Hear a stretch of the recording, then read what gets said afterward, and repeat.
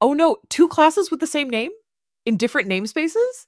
That's chaos waiting to happen. Exactly. You think you're calling one class, but C Sharp is scratching its head going, wait, which one do you mean? Hi guys, let's take a look at resolving namespace conflicts within your code. So let's have a look at this namespace here. Namespace is Toyota, and then we've got another namespace Honda. Both of these namespaces have the same class. So I've got car class here, and you can see I've got car class here. I am using the following at the top to bring both these namespaces in and make them available to my global namespace. So here is where my global namespace lives, which is without a namespace. So anything anything that doesn't have a namespace within the global namespace. So as you can see here, I have an error here and here. This is because it's saying compiler error, ambiguous reference. And if I hover over, this is the error that we get, ambiguous error. It doesn't know whether to select Honda or Toyota. So how do you resolve this? One way you can resolve this is actually appending it with a fully qualified name. So if we go to quick fix over here and you can say fully qualify the car and you select Honda and then this would qualify it as Honda. And then you can do the same here. Just go quick fix, qualify car, and then select Honda again. And that solves the issue. And you can see there's no longer any error because we are now talking about the Honda car, which is over here.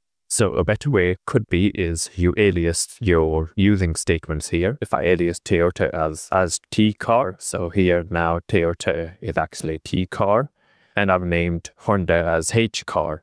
So both of these are now different. So now what we can do is later on in our code, rather than using the full name. So here, as you can see, I've changed it to H car. And you can see here that I've changed this one to H car as well. And then if I wanted to change that to Toyota, then all I have to do is just change that to T car and change that to T car. And that solves my problem of not knowing or the ambiguous reference error. I'm now using alias for my namespaces, which are at the top and then I don't have to type the name out fully like this. Instead, I can just use the shorthand alias name that I have defined. So just remember, if you do have naming conflicts amongst your namespaces, you can use aliases within your code like this, or you can use the fully qualified name if you prefer. I like the alias method. I think it adds clarity and you have to do less typing, which is really handy. So if I run this program over here, and you can see that by using the alias here, I get the correct output output here. And the same with if I change it to H car and if I run this, you can see now I've got the Honda Civic over here because it is using H car, which is referenced up here. H car basically means the Honda namespace over here, which means it accesses the Honda namespace over here and the Honda car here.